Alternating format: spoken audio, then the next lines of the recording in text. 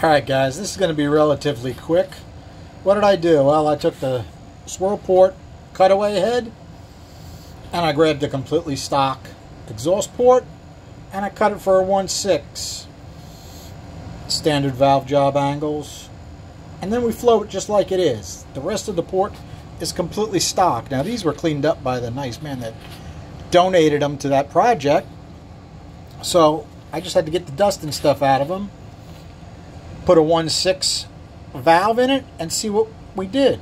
Now, if you want to compare what they do to a completely stock port with a 1.5, you can go back in the uh, TBI archive of, I don't know, 50 or so videos.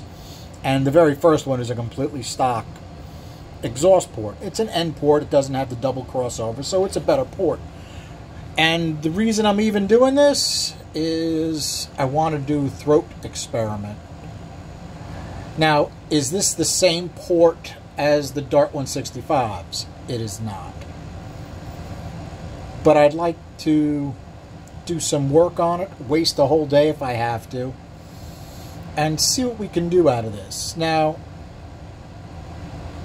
the first cut is this right here, and we have flows to show this. It's only going to take a minute or so. And then I'm going to do my radius into this. Now when I do my radius, the short side will be touched a little bit. There's not really much I can do about it. You can see right now we have a super sharp edge and then it goes into the short side radius.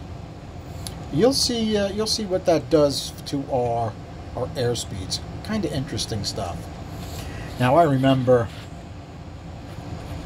when I was a kid and I went to get my first set of heads cut for bigger valves and I was talking to some old some old timers like don't waste your time porting those kids. Just cut them for bigger valves blah blah.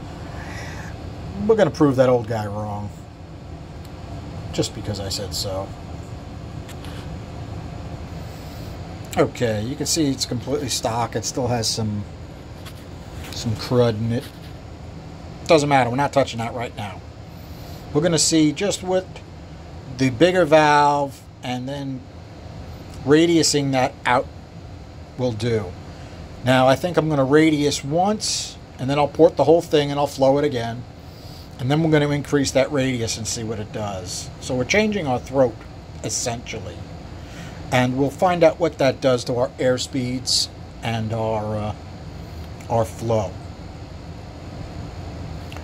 Alright guys, tiny, tiny short one.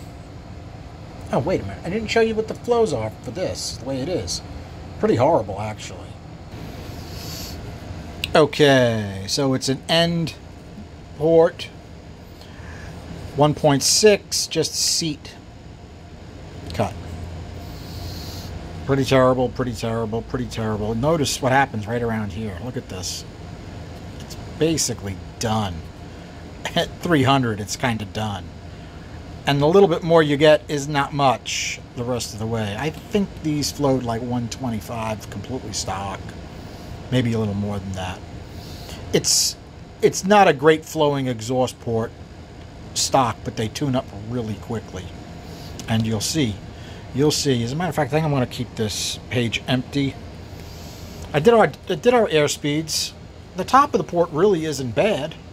I mean, as far as side to side, not bad. 300, okay. The middle, you can see we're already having a problem here in the middle of the port. 316, 264 low, really low. It's actually better here than the Dart 165s are done up. Alright, we're fast. This whole side's basically fast. Okay, we're going to see if we can improve that. I'm just left the spot here so we can uh, add some numbers on the next the next cut. Alright guys, thanks for hanging out.